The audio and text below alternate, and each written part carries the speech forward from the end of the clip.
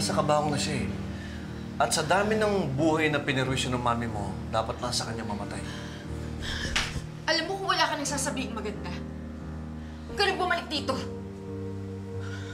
Zoe! Zoe! Kanino galing yung bulaklak? Ayun po siya. oh. Mom? Tita, si Mami! Si,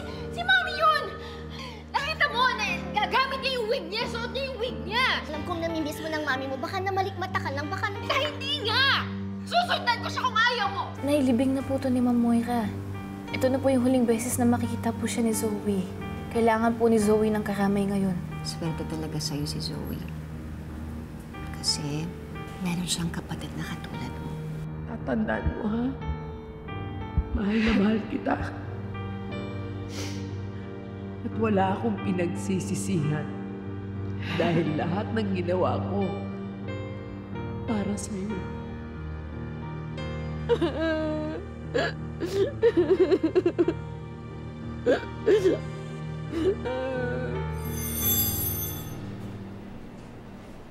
Zoe. So how was the funeral? Marami bang nakipaglibing? Bingi ka ba? Nadinig mo bang sinabi ko o nagbibingi-bingihan ka lang? Tita, pwede ba? I don't have time for this. I just buried my mother. Respetuhin mo naman siya kahit ngayon lang. Respeto? My secretary, who's so dear to me, died because of your mother. And who knows? Maybe because of you too. Tita, ilang beses ko ba sasabihin sa'yo? Wala nga akong alam sa mga plano ni Mami. Of course you're gonna say that, Zoe. And it's okay. Nakarma na rin si Moira. So hintay-hintay mo na lang yun sa'yo. Malamang parating na din yung karma mo. Ang sama ng ugali mo. Hindi mo na ginalang yung nanay ko kahit ngayon lang.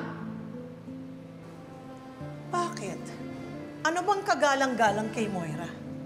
Kung pwede lang ako magpa-party dahil patay na siya, gagawin ko. O sige, magpa-party ka. Magpa-party ka. Sino ba nagsabi sa'yo bawal? Why not? Siguro nga magpapaparty ako. We deserve to celebrate after all the hardships and sorrows na pinagdaanan namin because of your mother. Hoy kayo, halik kayo, lumapit kayo. Kayo, dyan, halik kayo, halik kayo. Makinig kayong mabuti. Magpapaparty ako dahil patay na si Moira. Imbitado kayong lahat. As for you, I will send you your invite only if you promise that you won't be a party pooper. Grabe ka. Wala pang isang araw nakalibing yung mami ko, pero kung ano-anong kabastusan na yung lumalabas dyan sa bibig mo. No wonder. Pinagtraidoran ka ng sarili mong anak. You know, my mom might be a lot of things. Pero minahal namin yung isa't isa. Can you say the same for you and Justine? You don't even know anything about Justin and I. So don't even talk about my daughter. Eh, bakit ako? Bakit sa amin ni Mami, anong alam mo? Pag ikaw may sinasabi, pwede. Pero pag ako, hindi. Alam mo, sige, magpa-party ka! Magpa-party ka! Kahit imbetahin mo pa si Justine, sigurado ko, hindi, hindi pupunta yun sa party mo!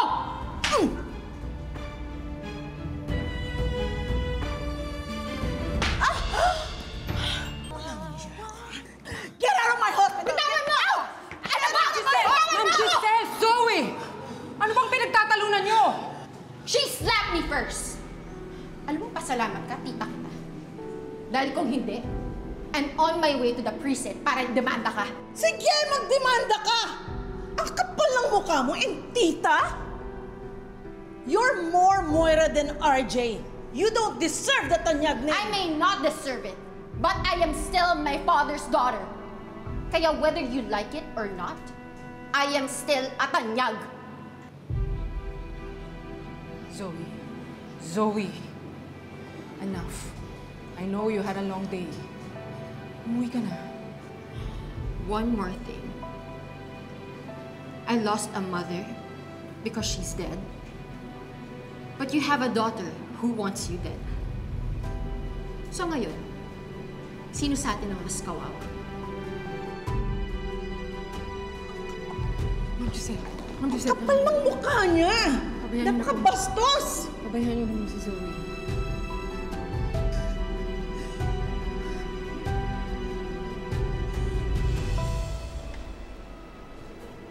Ano? Nag-resign ka na dito? It was the right thing to do. Pagkatapos ng lahat ng nangyari. Well, in the first place, mali rin naman yung reason ko kung bakit anong plano mo niyan? Hindi ko alam. Paano, babalik ka ng US? Ayoko bumalik doon.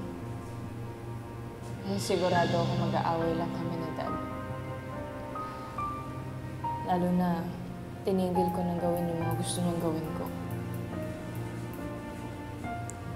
Eh, si Tita Giselle, nag-usap na ba kayo? Actually, yun yung rason ko bakit gusto kitang makita, Annalyn. Dalawang beses na akong humingi ng tawad sa kanya. Pero wala, dalawang beses din niya akong tinanggihan. Tapos sabi niya pa sa akin last time, hindi na daw niya ako anak. Si Tita Giselle kaya niya nasabi yun. For sure. At yun yung isa sa mga dahilan kung bakit nga ako umalis ng Apex. Kasi alam ko, hindi mawawala yung galit niya sa akin hanggat nakikita niya ako dito. Sabi nga nila, di ba? Absence makes the heart grow fonder.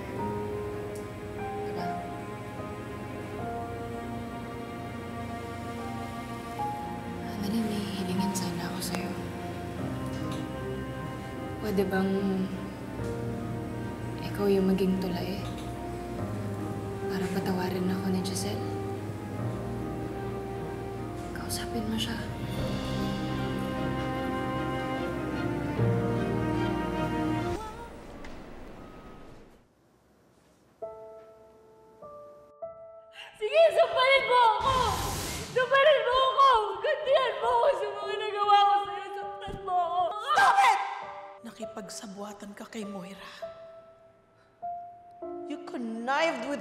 Criminal.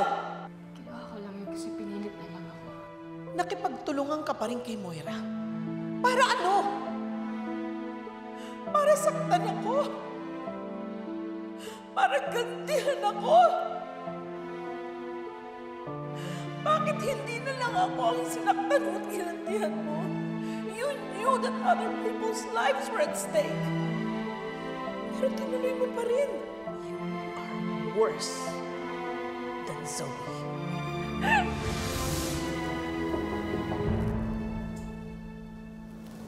Come in.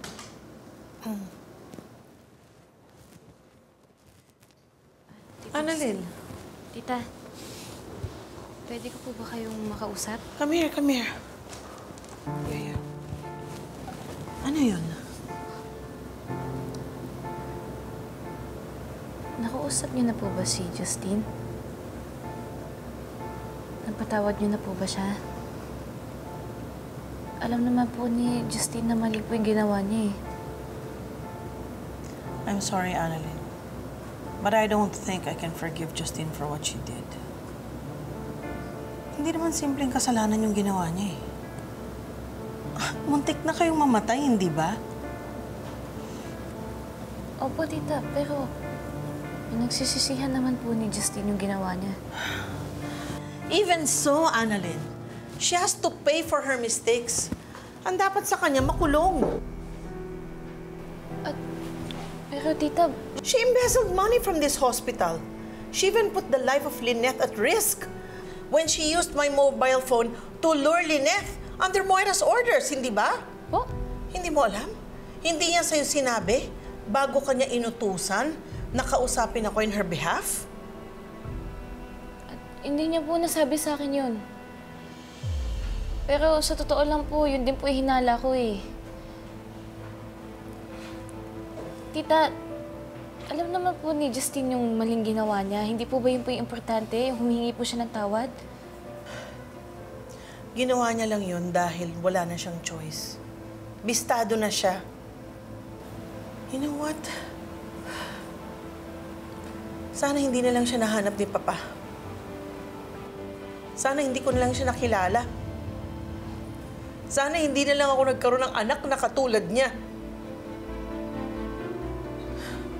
Tama siguro yung desisyon ko na ipamigay siya.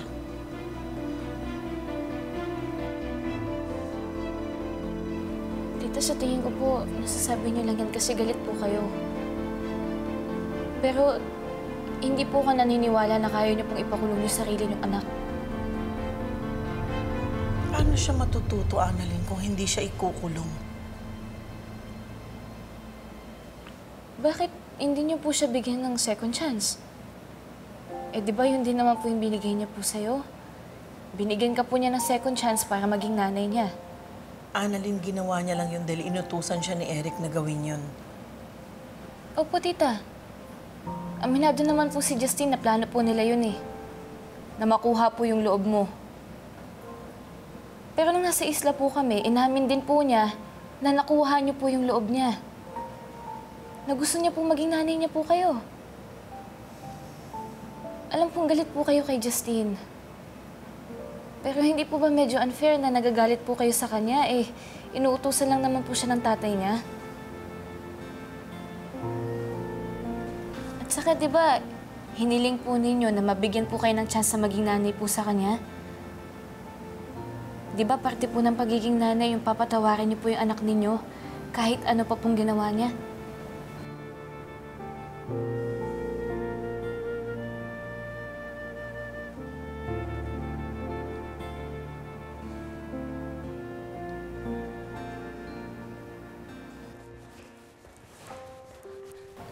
Sana hindi na lang siya nahanap ni Papa.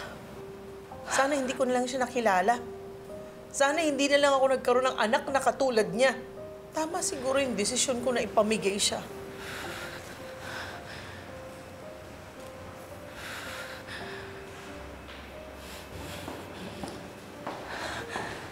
Hey, Ma'am Justine. Ah, miss, pwedeng mahiram ako. Okay po, sige po. Babalik ko na lang mamaya. Sige po. Salamat.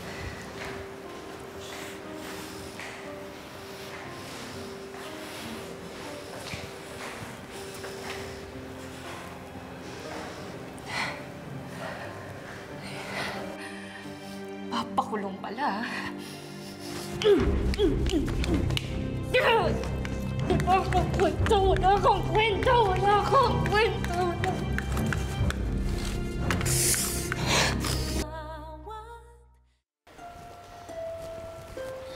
Alam mo, Tay, sa tingin ko po talaga na manipulate lang po si Justine ng daddy niya tsaka po ni Ma'am Moira. Parang si Zoe. Na-manipulate din siya ni Moira para sumunod sa kanya.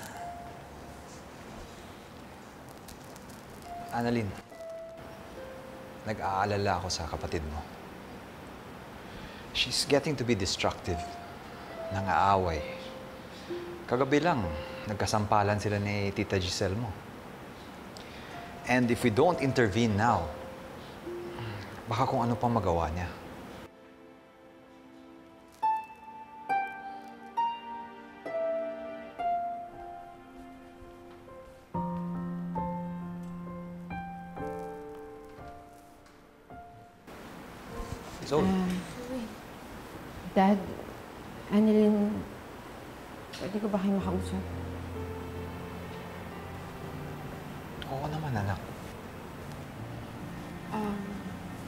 First off, I want to say thank you for letting me talk to you.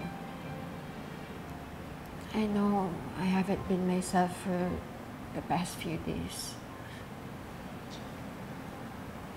At ikaw, Annalyn, I almost hurt you physically. Pati si Tita Giselle, inaway ko din.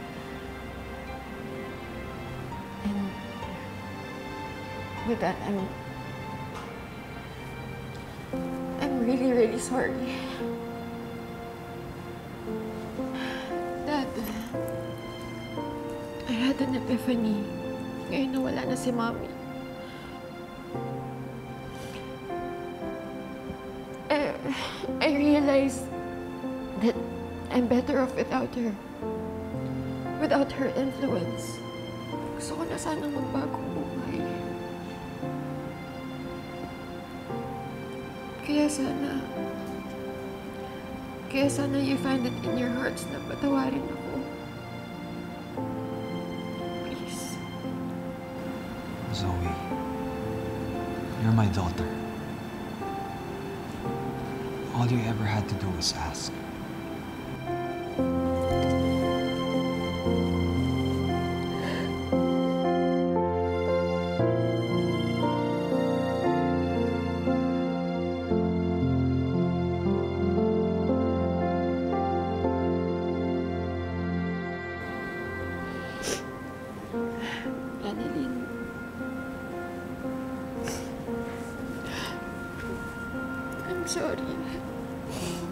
Sana mapatawad mo ako.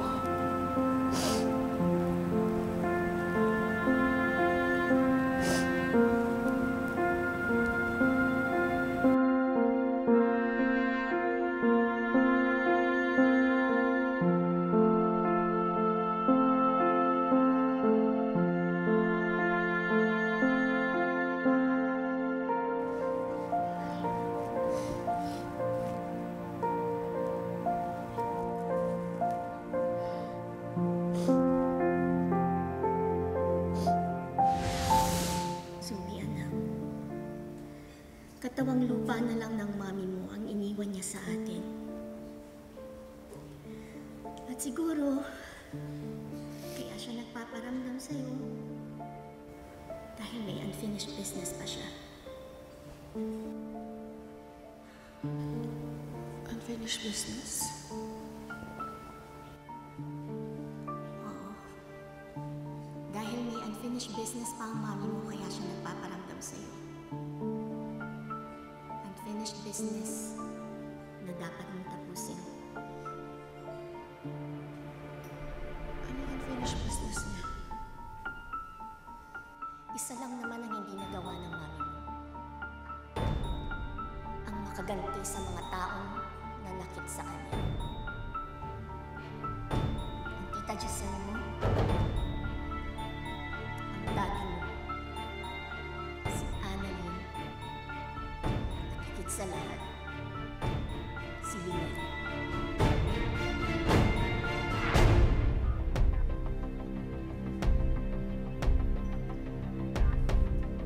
Promise, Mommy.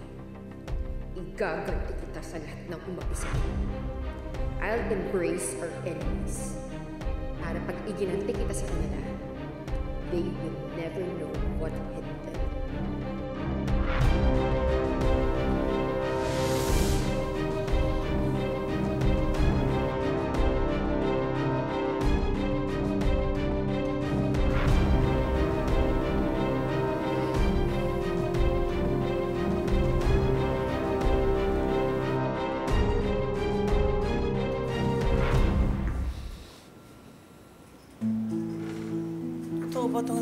Nakikita ko?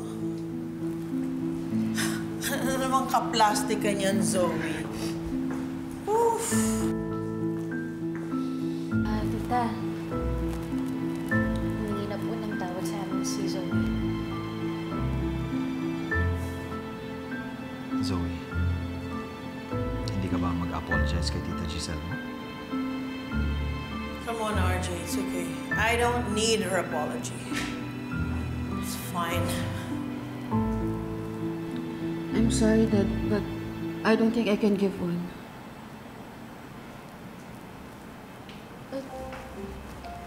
Pero Zoe, akala ko ba... Annalyn, Dad, don't get me wrong. Hindi naman sa ayaw ko mag-apologize kay Tita Giselle. Sa tingin ko kasi, hindi niya ako papatawarin.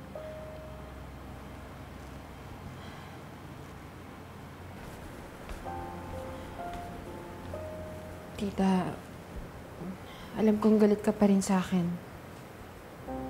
I respect that at tinatanggap ko yun. Pero, okay lang. Hindi naman ako affected eh. Because I don't need your approval. Zoe, Dad, that's the truth. Kayo lang ni Annalyn yung kailangan ko. I mean, no offense to Tita Giselle. Pero I just... I just need my sister and my father.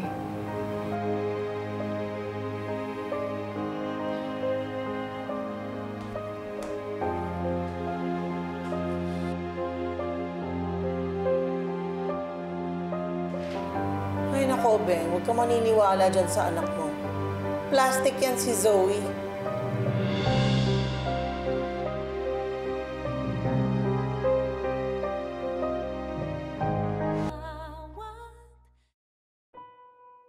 Thank you po. Tumatambay na naman kayo dito. Huwag kayo maingay, ha? Malasin tong tindahan ko sa inyo, eh. Ate?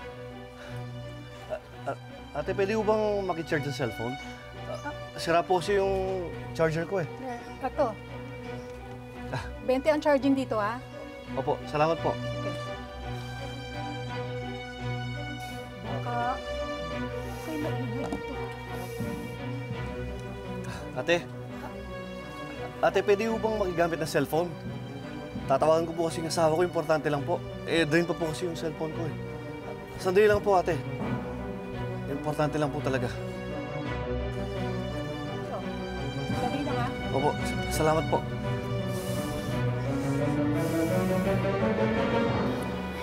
Si Zoe talaga nagmana sa katarayan ni Moira. hindi na nga namin pinilit ni Annalyn na mag-sorry kay ate. At least, nag-sorry siya sa amin ni Annalyn. Magandang umpisa na yun.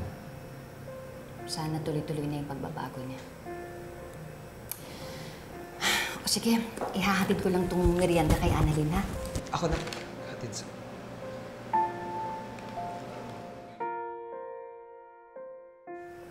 Ah, sorry, Lynette. Sige, ikaw na lang magdala sa kanya. Sige.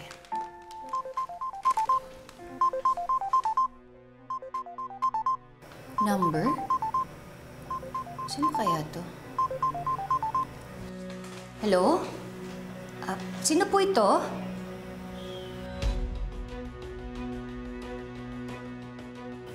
Hello? Hello, sino po to? Lynette, hindi ka sinasagot. Baka scammer yan. Or prank caller. Hello, Carlos? Ikaw ba yan? Ay, ay, sir, sir, sorry po. Te, meron ba dyan sa drinks? Sir! Ay, meron po. Pengen naman ako. Ah, ilan ho? Dalawa lang. O, sige. Sandali lang po. Thank you ah.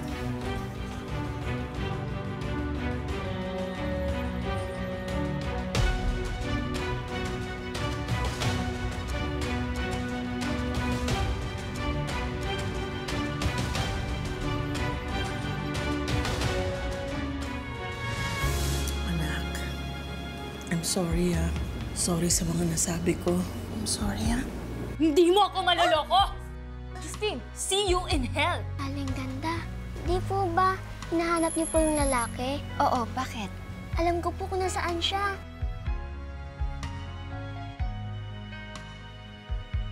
Bakit mo yung mami mo? She deserved it, Annalyn.